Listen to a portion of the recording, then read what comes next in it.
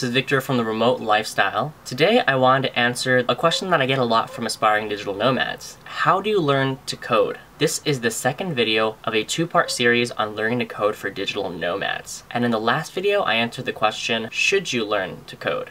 In that video, I shared how coding has changed my life and why I believe that it's the number one bang for your buck skill to invest in yourself as a digital nomad. Click here to watch the video.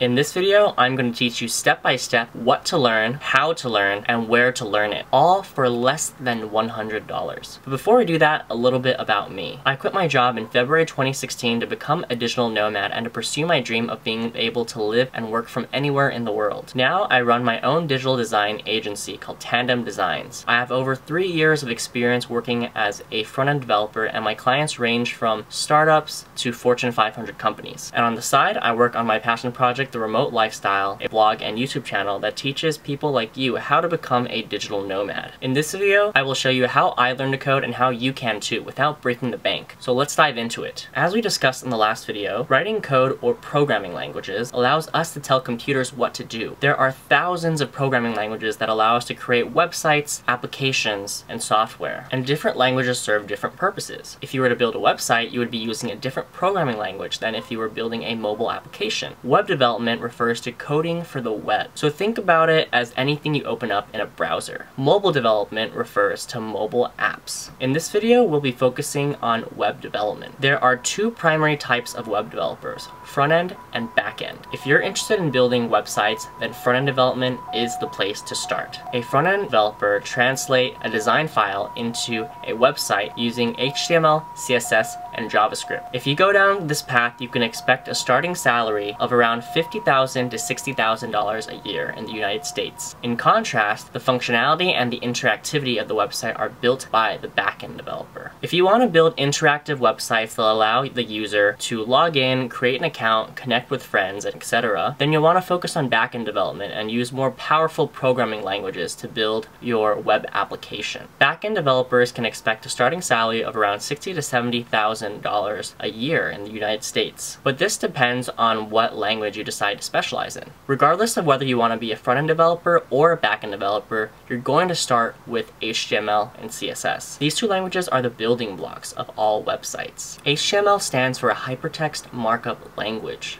and it defines the structure of a website, which includes all the text content, the images, and links.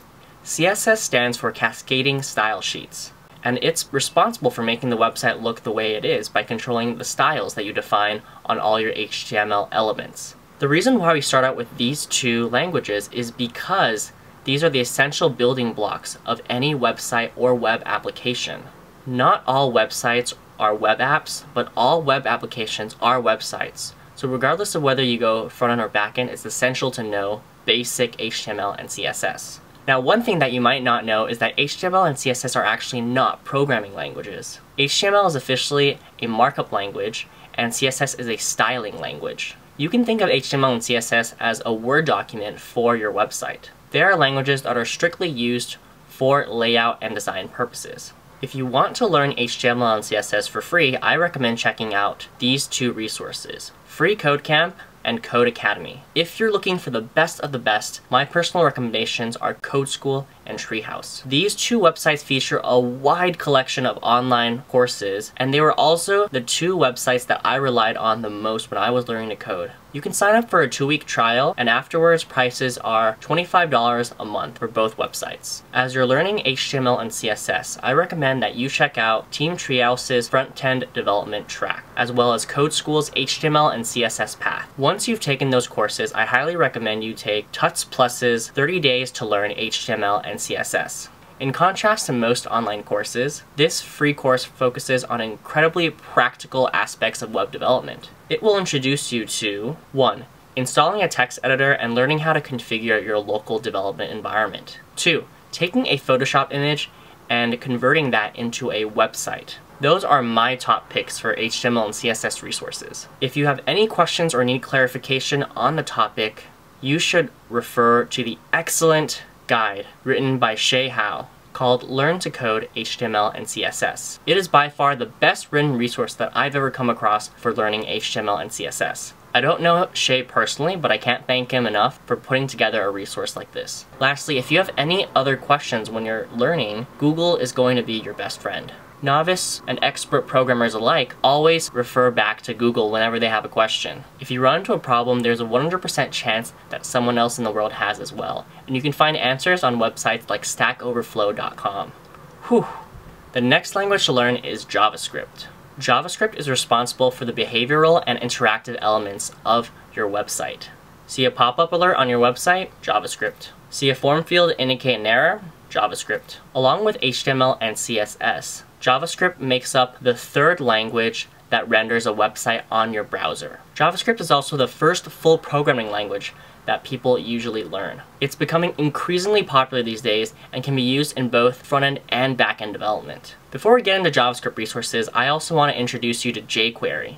Without getting into too much detail, jQuery is a JavaScript library. This means that it contains a series of commands that allow you to run pre-written JavaScript code. This allows you to do some pretty powerful things without writing code from scratch. To learn JavaScript, I recommend going through Team Treehouse's entire JavaScript path. Code School also has a JavaScript path, and within that path, I recommend you to take the following courses. JavaScript Road Trip Part 1, Try jQuery, and the following two courses are optional. JavaScript Road Trip Part 2, and jQuery The Return Flight. Another solid alternative is Tuts Plus's 30 Days to Learn jQuery. This follows a similar structure to the 30 Days to Learn HTML and CSS program. Congratulations, you now have the skills of an entry-level front-end developer. Believe it or not, at this point you've learned the basics. If you want to pursue front-end development, you can already apply for entry-level jobs available in the market. If you want to dive deeper into front-end development, the next step would be to learn JavaScript frameworks. This includes AngularJS, Backbone, Ember, or Node.js, but we're getting ahead of ourselves, so I'll talk about frameworks a little bit later.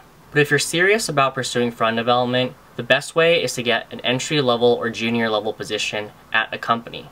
The best way to learn is to get professional experience. Finding a company where you can learn the best practices and the tricks of the trade from more seasoned developers will really help you go a long way. For example, when I first graduated, I worked part-time as a junior front-end developer at a startup. My experience there gave me the skills and the confidence to apply for a full-time position at a 300,000 person company. And that's really where my career started taking off. Through my experiences at the large company, it gave me the skills and the practical business knowledge to eventually become a freelancer and run my own business. Whew, now on to the back end. You now have a strong grasp of HTML, CSS, and JavaScript, but we're only scratching the surface. To summarize, the backend consists of three parts, a server, an application, and a database. And since I'm no expert on backend development, I will spare you the details. Backend technologies usually consist of languages like PHP, Ruby, Python, Java, and C++. As you start out, your goal is to learn the basics of your selected language. Luckily, the basics are similar across all modern programming languages. So since you've learned JavaScript earlier, you're going to find picking up these languages a little bit easier. The reason for that is because concepts like loops, variables, functions are pretty consistent across programming languages. Now on to web applications. So we know that backend development is about building web applications, and web applications are built using programming languages. Great! But there's one more thing you need to know. Most web applications are built using web frameworks. Don't worry, it's not that complicated. In a nutshell, web frameworks make it easier to build web applications. Remember when we learned jQuery? Web frameworks are similar things, and they help backend developers build out web applications more easily. Each web framework is typically built using one primary programming language. For example, Ruby on Rails is built using Ruby, and Django is built primarily using Python. It's important to note that there could be multiple web frameworks for a programming language. A good example is JavaScript. You have JavaScript frameworks such as AngularJS, Backbone, Ember, and React.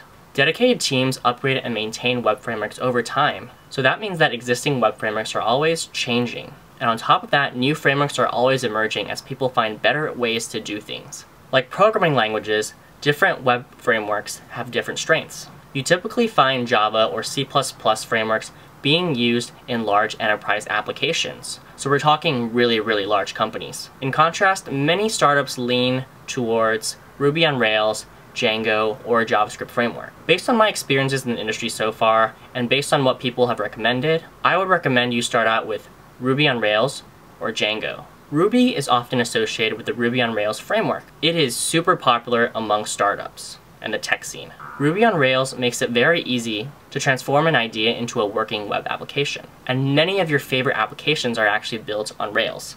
These include Twitter, Airbnb, Groupon, Kickstarter, and Hulu. Ruby on Rails is great for beginners because 1. There's a huge online community of Rails users. 2. It's widely used in startups and in the tech industry. And 3. Compared to other frameworks, there are dozens more resources available for Rails.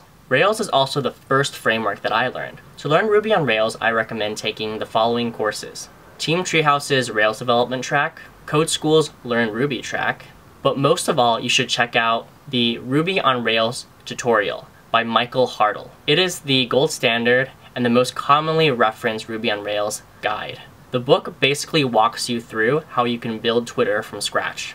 Now on to Django and Python. Python is a general purpose language used for everything from server automation to data science. Django is a popular framework that powers websites such as YouTube, Dropbox, and Google. I'm less familiar with Django, but a good place you can start is Team Treehouse's Learn Django track. Lastly, I want to talk a little bit about in-person resources. If you're somebody who feels like you might need in-person instruction, don't worry. There are so many classes that you can take to learn these skills.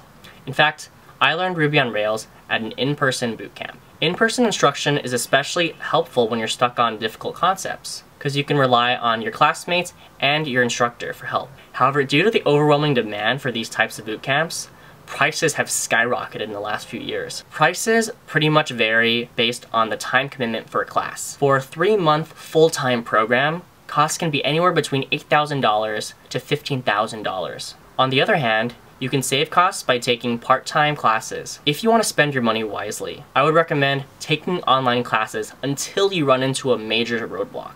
You should be able to cover HTML, CSS, and JavaScript without needing in-person instruction. Save the in-person classes for difficult concepts like back-end development and learning different web frameworks. There's a great website called SwitchUp that lists the different coding bootcamps out there so you can take a look at the pros and cons and the reviews for each one. And ultimately, practice makes perfect. Learning through taking classes is one thing, but applying what you've learned on actual projects is a whole different game. I highly recommend that you build side projects. Build websites and applications for your friends. Do whatever it takes to get more hands-on and practical experience on whichever programming language or framework that you choose. When I first started learning how to code, I made the mistake of taking every single track that was offered on Codecademy because I was all about getting the badges and learning all the coding languages. And in the end, I knew how to write HTML, CSS, Python, JavaScript, Ruby, but I had no idea how to build anything with the languages that I've learned, and it was a total waste of time. You're much better off sticking with one programming language and diving really deep into that. A word on timelines. As you are learning all of these skills, keep in mind that this takes time. You will not become a great developer in just a few months. In fact, you will probably not become a great developer after one year. But be patient. The learning process is full of ups and downs, so don't feel discouraged. You're literally learning a new language. No one becomes good at that in a short period of time. At the same time, you should realize that you get what you put into things. So therefore, the harder you work, the faster you will progress. And that's a wrap for my two-part series on learning to code for digital nomads. If you liked the video, support me by dropping a like. And if you want to see more content like this, subscribe to the channel. Lastly, if you have any questions or comments, just put them in the comments section and I'd be happy to continue the conversation. And that's all from me, and I'll see you next time.